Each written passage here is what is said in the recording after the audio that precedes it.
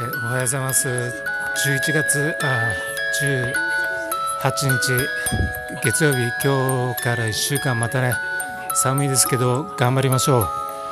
えー、っとホームヘ介護のお手伝いしたいと思います。ホームヘルパー2級イコール介護職員承認者研修の資格を持っております。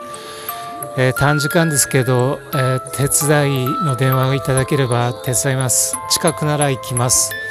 ということでねあの婚活もしてます。誰かいい人いたらよろしくお願いします、えー、推薦立候補僕に興味がある方はとりあえず問い合わせの方までご連絡いただければありがたいです。